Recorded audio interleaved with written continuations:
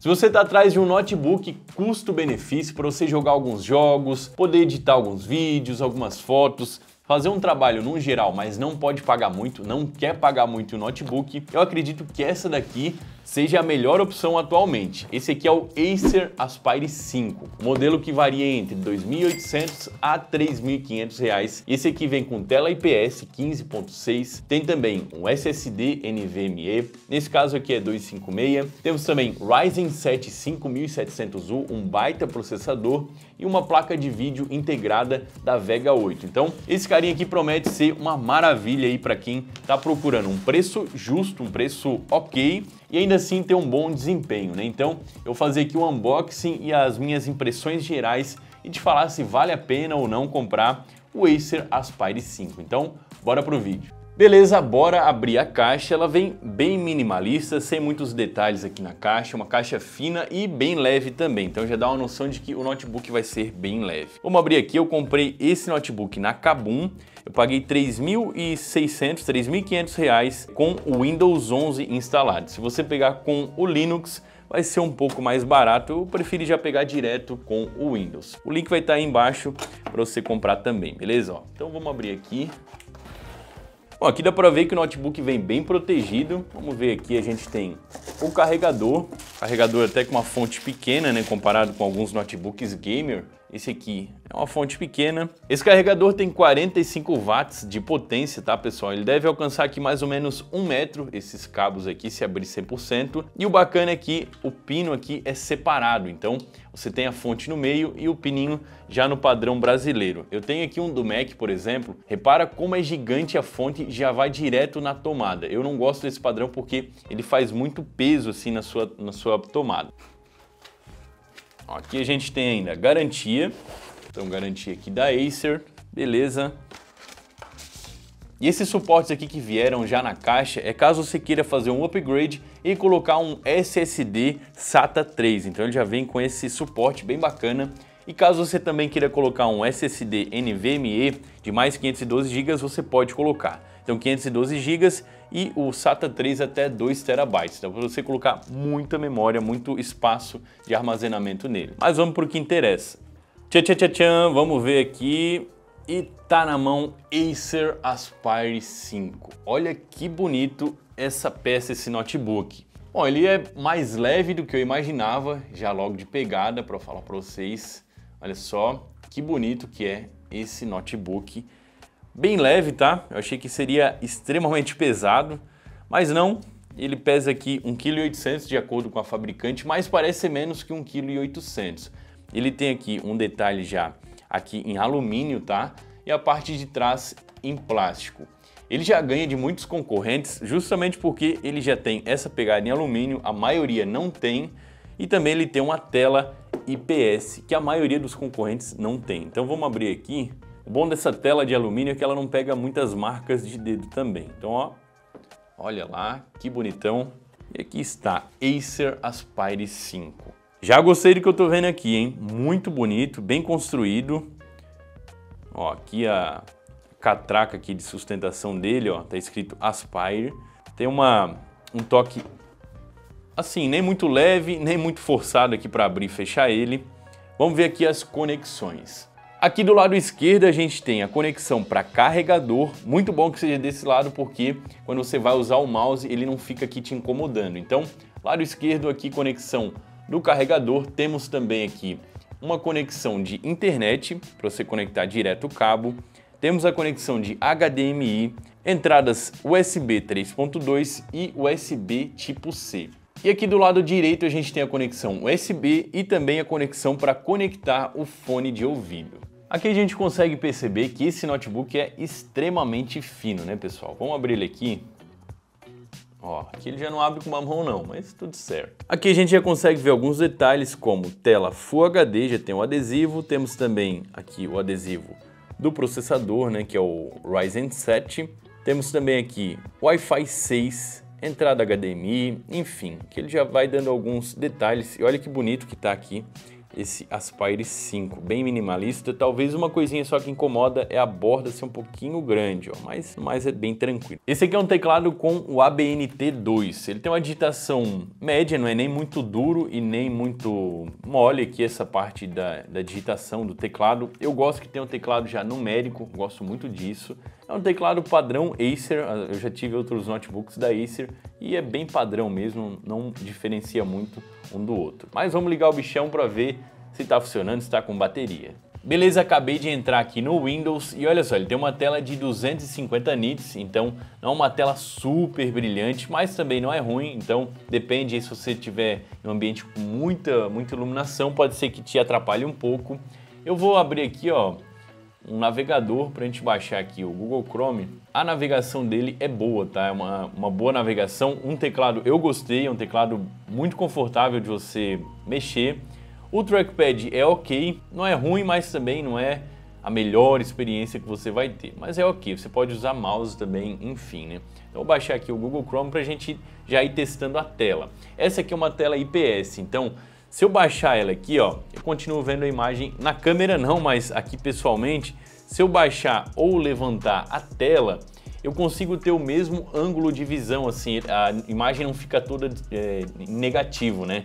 Quando você pega uma tela TN, quando você baixa aqui, ó, fica tudo preto, tudo escuro. Aqui a, a olho nu, eu vejo a imagem do mesmo jeito, seja de um lado, do outro, ou seja olhando aqui de um ângulo de cá ou de cá. Então, essa é a diferença da tela IPS, tá? Um, esse maior aqui pra gente ver. Olha só, se você ainda não é inscrito aqui no canal de tecnologia, unboxing, review, Bom, beleza. Cara, imagem aqui tá muito bacana, você tem uma, uma ideia aí. Vou colocar uma música pra gente ver.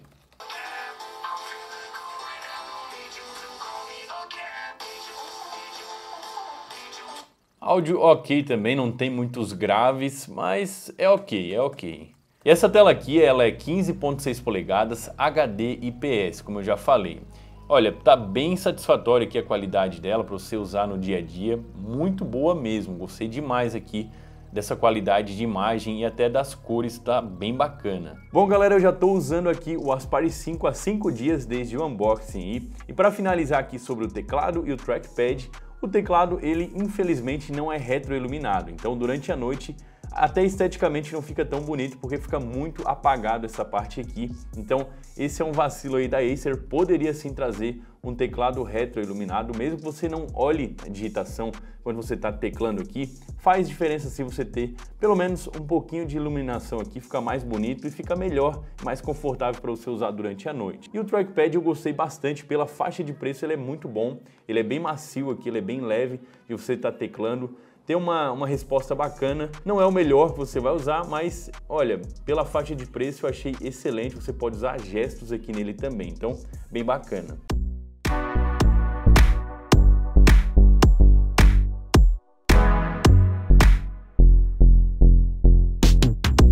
E essa aqui é a parte interna aí do Acer Aspire 5. Não tem problema você abrir, você não vai perder a garantia. Você pode fazer os upgrades, né? E que você pode ver ó, o SSD de 256 GB da Adata. Aqui também da mesma marca Adata a gente tem a memória RAM. E aqui tem um grande problema. 4 GB de memória RAM já é soldado na placa. Então você só consegue trocar essa daqui por mais 16.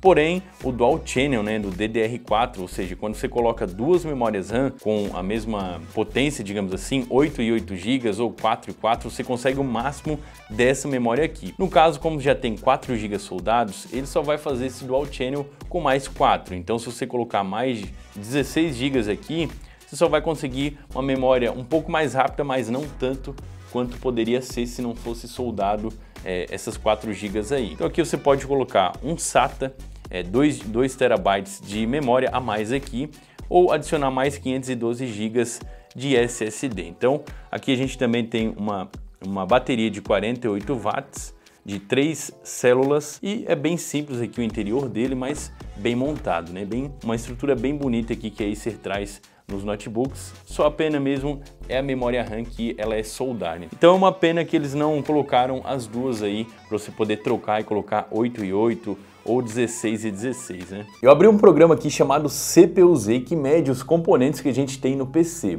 Então aqui a gente pode ver que tem um AMD Ryzen 7 5700U. Esse 5700U quer dizer que é um processador de, baixa, de baixo desempenho comparado com outros da marca, né, da, da AMD. Como é um notebook de entrada, isso é super comum, né? Normal deles colocarem esse com final U. Aqui a gente tem uma operação em 1.8 MHz até 3.6 de, de velocidade aqui do processador e a gente tem 8 núcleos e 16 threads. Threads é como se fosse um núcleo virtual. Então os, o núcleo aqui ele vai ajudar mais em single core, que é para jogos, e os threads vão ajudar quando você abrir mais coisas, o processador vai usando mais desses núcleos. Galera, vamos testar aqui o CSGO. Vou colocar as configurações tudo no mínimo para preservar o máximo possível aqui de FPS e bora jogar. Eu já estou alguns anos sem jogar uh, CSGO ou qualquer outro jogo de PC porque eu estava usando o macOS, o sistema né, do MacBook e tudo mais da Apple. Então tava com saudade já de poder jogar alguns jogos é muito bacana depois você trabalhar, poder jogar alguma coisinha. Então, é, saiba que eu devo estar um desastre aqui, já estou muitos anos aí sem jogar. Mas vamos lá. Eu cheguei a jogar uma partida nele aqui, uma ou duas partidas bem rápido, para ver como é que estava saindo e me surpreendeu. Eu pensei que esse computador ia ficar ali em média de 70 FPS, mas não. Ele está fazendo em média aí, vocês vão ver, de 100 FPS, que é bastante coisa, dá para jogar com fluidez tranquilamente. Vocês vão poder reparar aqui, ó, nesse programa que está rodando aqui, que é o MSI Afterburner. Ele está mostrando aqui minha placa de vídeo, está mostrando também a memória que eu estou utilizando, o processador. Então é bem bacana esse programa aqui para você conseguir ver como é que está rodando o seu, o seu computador aí, se ele está dando conta ou não.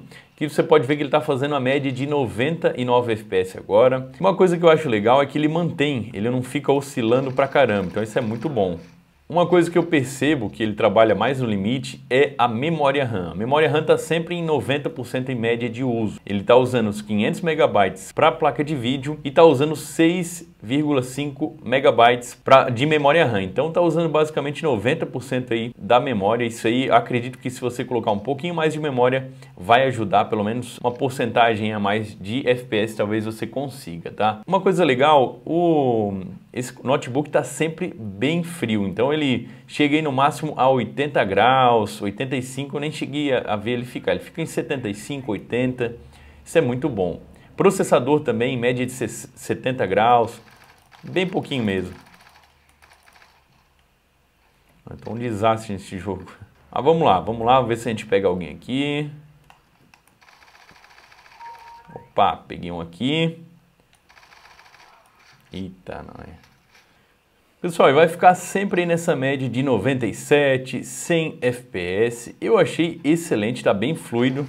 Talvez para vocês aí, pegando uma captura de tela pelo celular, talvez não, não esteja, pelo, pela câmera aqui, talvez não esteja tão boa a qualidade do vídeo, porque fica um pouco mais escuro, parece a tela, mas aqui pessoalmente está excelente essa qualidade aqui é, da tela, pelo menos para mim aqui jogando, eu acho que está muito legal, muito, muito interessante essa imagem que ele entrega aqui. Eita, não é. Temos um aqui, vamos pegar. Ai, caramba. Bom, e a Vega 8 aí, ó, mantendo nos 80, 80% de uso, 90, às vezes chega a 95, então usa bastante a Vega 8 aqui. Realmente a placa de vídeo tá saindo bem aqui, hein? Pelo menos pro CSGO tá saindo bem. Beleza, testamos aqui o CS, bora testar agora o GTA V. Beleza, pessoal, entramos aqui no GTA V e eu coloquei os gráficos aqui como normal, então sombra, a resolução aqui em HD, agora o restante, ó, V-Sync desligado, qualidade de reflexo, tudo está no normal. Então, vamos ver se ele vai rodar legal. Bom, pessoal, fazendo aqui a primeira missão aqui do GTA, ó, estamos aqui a 53 FPS. Bom, FPS ok, até 50 aí eu vejo que dá para jogar sim. Você vai se divertir bastante, tá? E cara, o jogo tá bem bonito.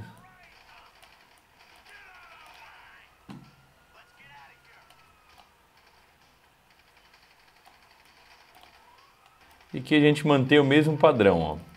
6.500 megabytes ali, 6 GB e meio, usando de memória RAM e os 500 ali para a placa de vídeo.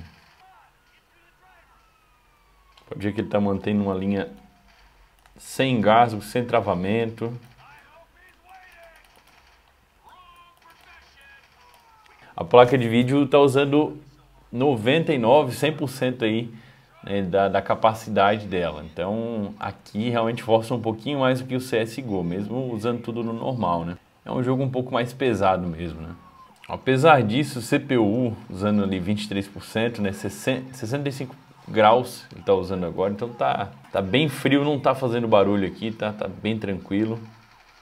Finalizei aqui a primeira missão e fazia muito tempo que eu não jogava GTA também. Olha só, mantendo aqui os 50 FPS cravado aqui, ó, nem mais nem menos.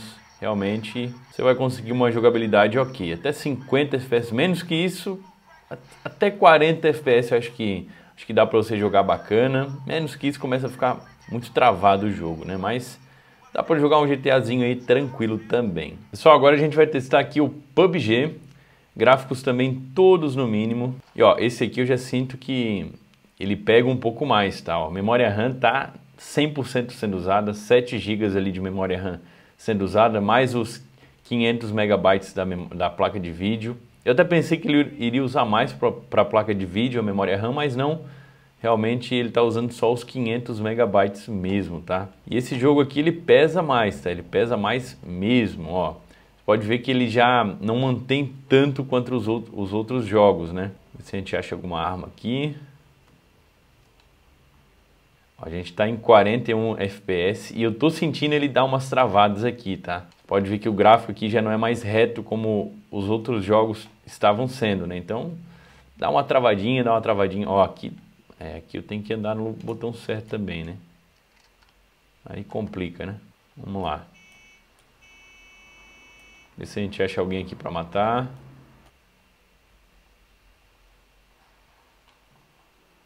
Nossa senhora. Caramba! Bora voltar aqui ver se a gente consegue achar alguém. Que aquela morte ali não deu não, hein? Ó, já caiu ali na casa. Corre, corre, boneco. Vamos ver se a gente acha alguma arma. Aí.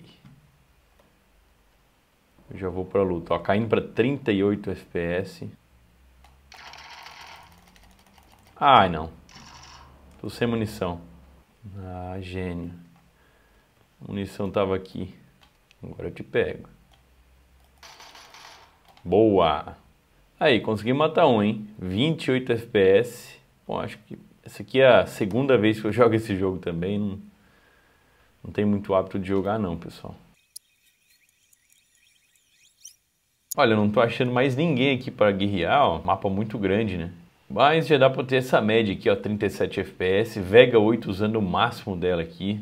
97%, 98%. E o processador tá ali, ó, 40%. Realmente o, o, Ryzen 7 aqui ele tem muita potência. Que vai gargalar mais mesmo é aqui uh, a placa de vídeo nesse caso, hein? Não encontrei ninguém aqui pro confronto, mas já dá para ter essa base aí, média de 37 FPS. É pouco, hein? É pouco. Nesse caso aqui, não sei se eu jogaria, tá? Bom, galera, o que, vocês acharam do Aspire 5? Eu gostei demais pela média de valor que ele está custando. Acho sim que é uma das melhores opções. Eu gostei do desempenho dele nos jogos, tá? Gostei muito no CSGO, ficou mais de 100 FPS, como vocês viram aí. Realmente muito bacana, dá para brincar depois você usar ele aqui para o trabalho, seja o que for. Você consegue também usar ele para iniciar num Adobe Premiere, aí, num editor de vídeos, para usar, por exemplo, Photoshop também. Então, inicial, tá? Inicial a intermediário. Se você quiser colocar efeitos mais pesados e tal, a placa de vídeo não vai dar conta. Talvez o processador aqui ele dá conta, mas vai precisar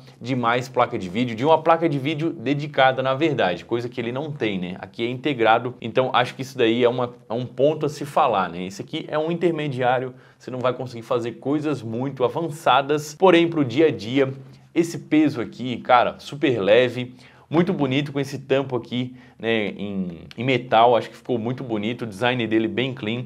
Então eu curti demais, vou deixar o link aí caso você também queira comprar. Ah, eu não falei com relação à bateria dele, ele durou incríveis 7 horas e meia no modo economia de bateria, usando 30% aqui uh, do, do áudio em um, no YouTube. Então eu coloquei um vídeo, coloquei no volume 30 e deixei 7 horas e meia direto, uma bateria absurda, além de ele não perder muito desempenho usando ele sem estar conectado aqui na tomada, então foi algo bem surpreendente, porque geralmente os notebooks você tira ele da tomada, principalmente o gamer, e ele perde muito desempenho, e aqui o Aspire 5 não teve isso. Então, sensacional. Tô pensando também mais para frente trazer um review aqui completo dele, depois de alguns dias de uso. Me diz aí se você quer assistir e se você quiser comprar ele, link aqui na descrição. Se inscreve no canal caso ainda não seja inscrito e até o próximo vídeo.